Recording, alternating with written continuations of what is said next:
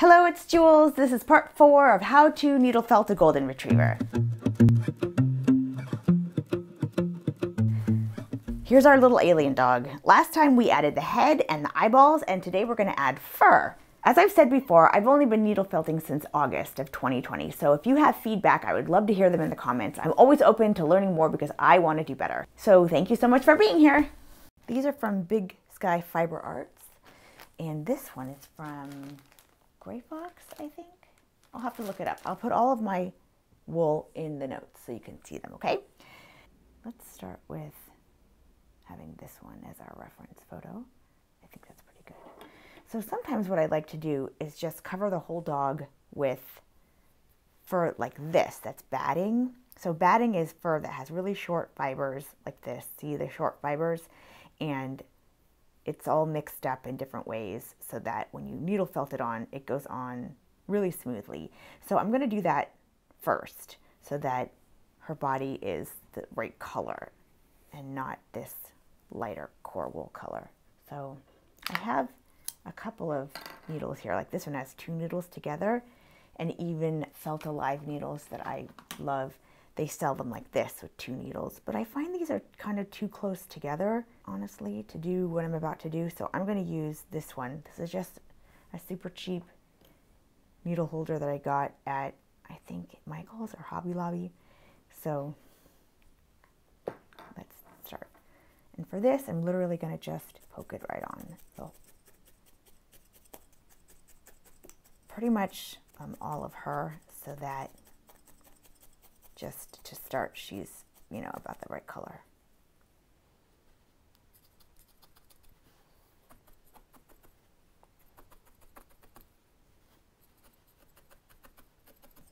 I'm not going to do her legs because the legs, I want to keep them kind of thin and be able to do those separately. But I'll do the whole body with this except for the parts of her body that are white. I'm not going to do that. Just the parts of her body that are this brownish color. And sometimes if I feel like I need to build up her body a little bit, I'll use this wool, this really soft batting to now build up a little bit more.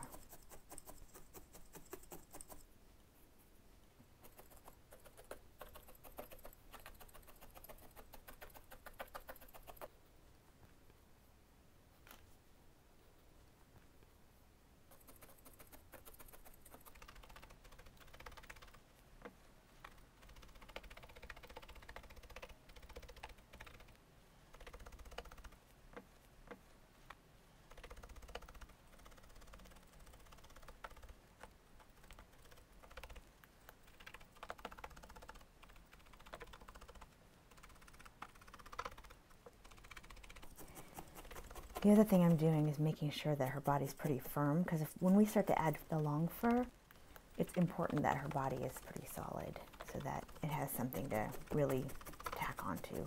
So you see how here it's lighter underneath, lighter on her legs, lighter here on her face. So I'm probably just gonna leave this, this part without and her face without.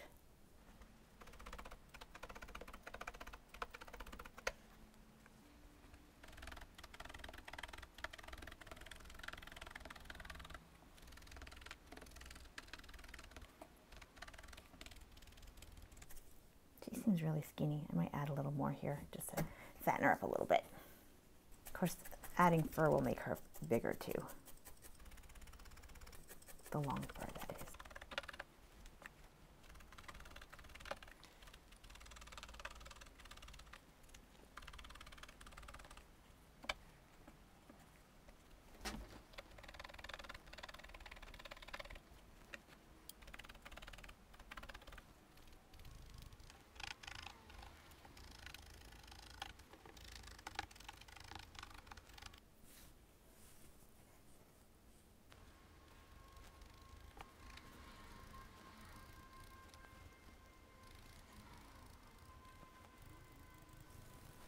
getting there.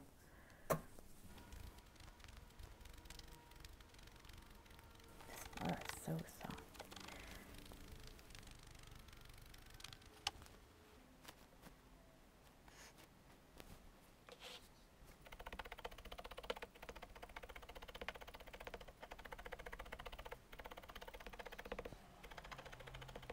So now in looking at the picture of the dog and the fur, I think I'm going to go with something a little bit darker.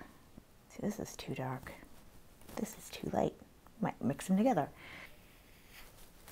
Get a clump of fur like that, and a clump of fur like this. And then you literally just start mixing them by hand. Now, I do have these combs I've used to mix fur, but I find when I mix the fur with the combs that it gets very matted up, kind of like the batting, and the fibers go all over the place.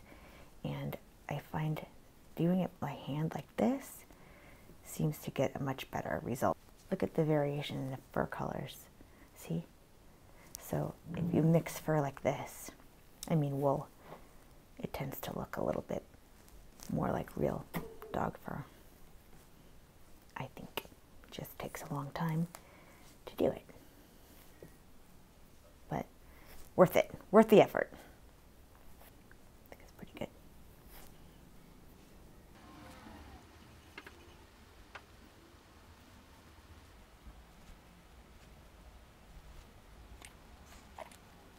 Let's go with this. Now, you take a little clump of it, like this, little clumps. And I want smaller bits than this. I'm going to make little small bits.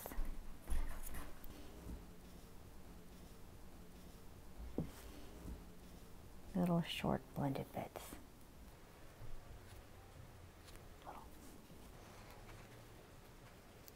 Okay.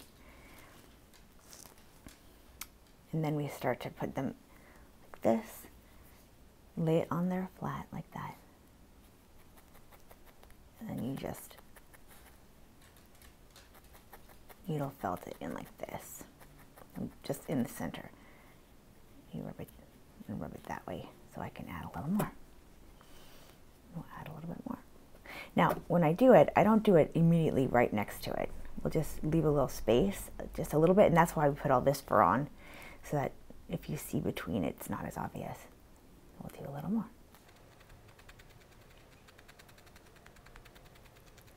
So you can start to see, see how it looks like fur?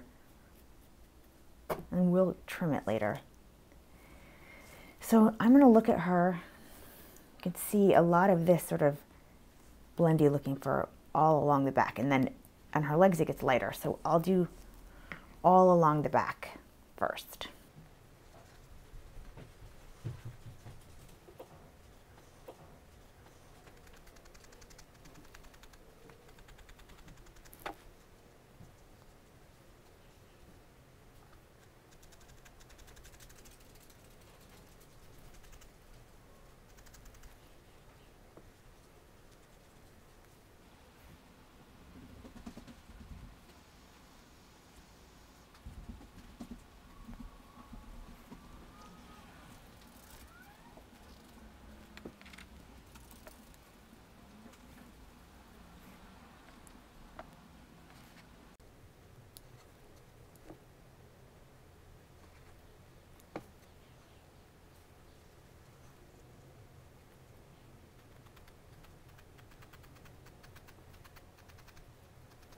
And see how this is short and this is long? I'll trim it so that it matches better.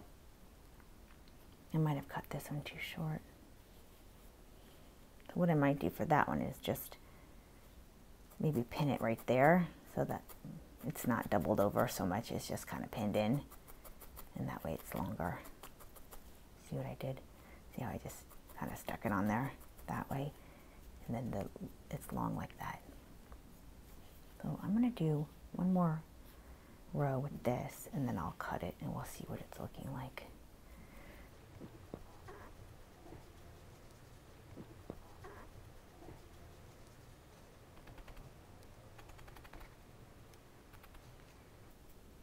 So I'm not going to do her head just yet because I got to add the ears. And her ears, I don't want to mess up this fur. This looks really long, maybe too long. It kind of cut into it a little bit.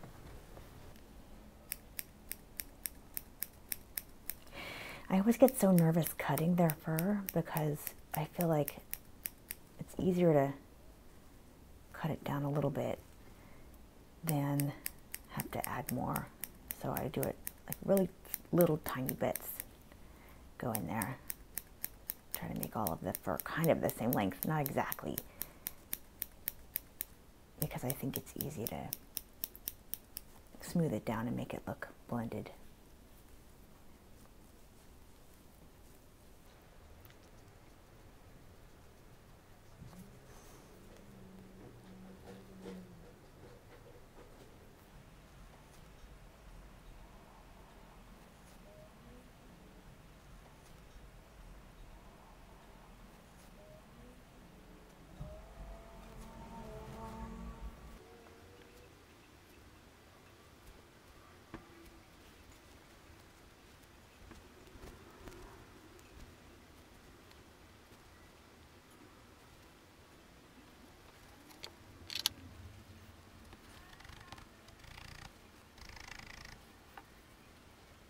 Believe doing the fur this way is called planting fur.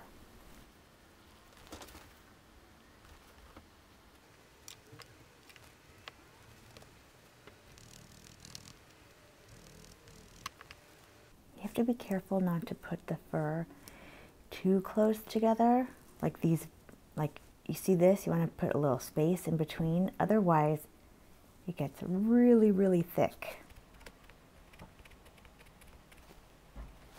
you can kind of comb it down with our needle and see what it's looking like. I also have this little comb thing. Sometimes I comb the fur with this. Kind of get a sense of what it's looking like.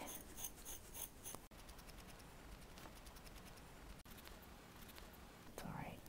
I feel like there's a little hole here and a little hole there. So we'll see, but adding some fur right there. Fill in that little hole, maybe.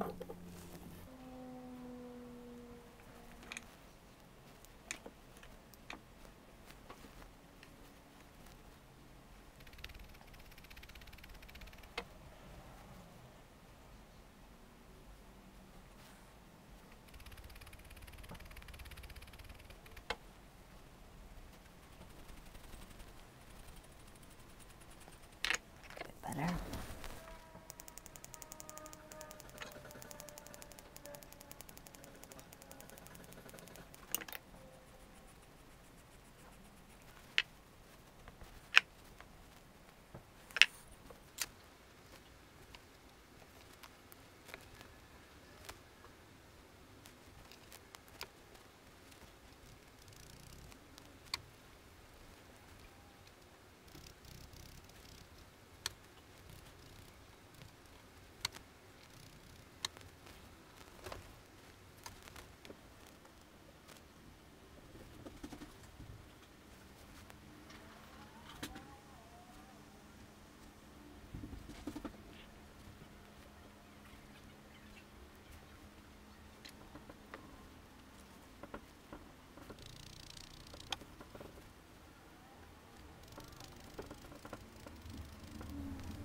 This is camel wool and merino wool that I'm blending together. They're both really, really soft. And I think it's going to make the fur really nice.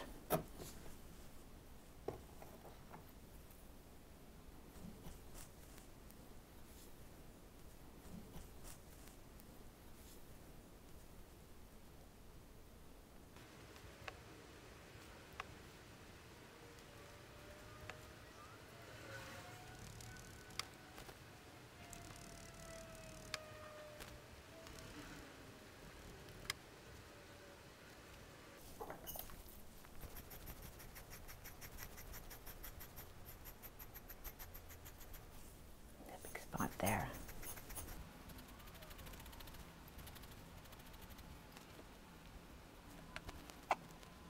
This is looking kind of patchy. Gotta fix that. Here.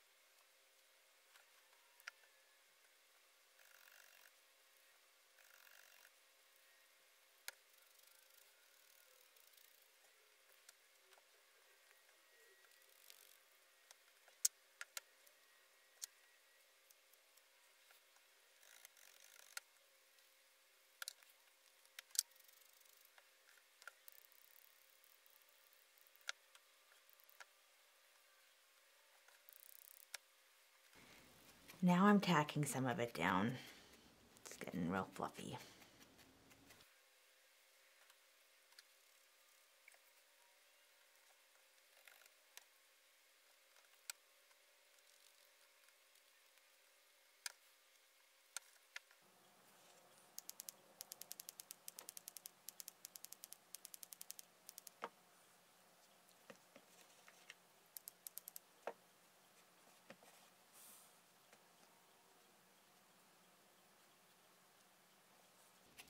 For the bottom, I'm not going to plant it. I'm just putting it in like this, where it's just, you know, covering up the core wool.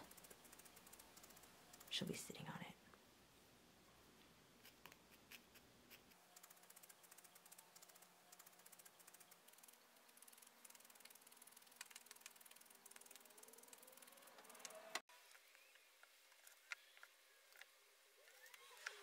I'm going to put all light wool now, all here.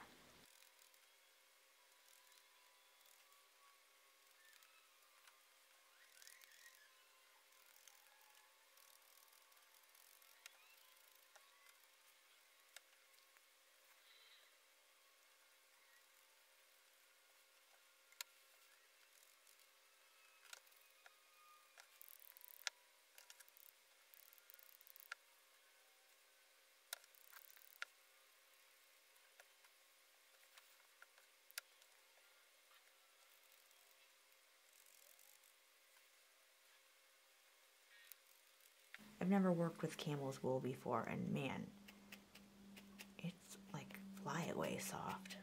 So I didn't expect that. I mean, it's really nice, but me.